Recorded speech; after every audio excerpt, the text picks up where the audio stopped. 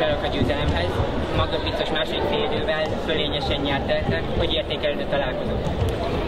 Igen, az elején kicsit szenvedőssé tettük a mérkőzést, nagyon sok gólt kaptunk, a védekezésünk nem volt jó egyáltalán, rengeteg bejátszás nem tudtunk elkerülni, a beállók nagyon jól tudtak élni ellenünk. A második fél időben viszont összeszedtük magunkat, és ott sikerült egy magabiztos fölényt kialakítani, aztán így alakult a mérkőzés, így lettünk. Elég jól védekeztetek a 7 6 ellen, erre külön készültetek?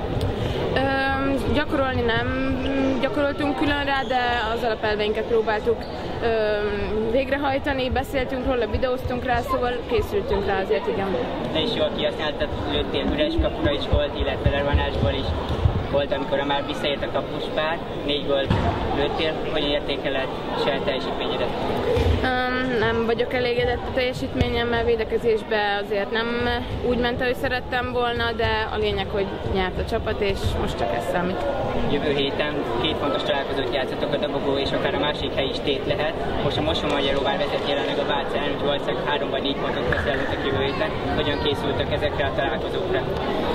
Mindig pikáns mérkőzés szerintem a Fradival is, meg a Győrrel is, amiket szoktunk játszani, szóval én úgy gondolom, hogy nem kell, hogy nyomjon minket a teher, nem mi vagyunk az esélyesebbek, ezt tudjuk, de sikerült már bravúrokat szereznünk több éven keresztül, most idén a BL-ben, de a Győr ellen, de így fogunk nekiállni, hogy mindent megteszünk a győzelem érdekében.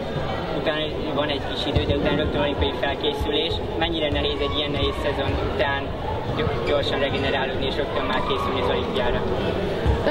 Szerintem nem lesz nehéz, hiszen erre várunk már több éve, hogy olimpiát játszhassunk, és biztos nehéz felkészülés lesz, meg, meg fárasztó, de, de nem ez van a fejekben, szóval vinni fog minket a rendület. Várom rá, hogy elkezdődjen? Nagyon, nagyon, nagyon. Köszönöm Igen. szépen.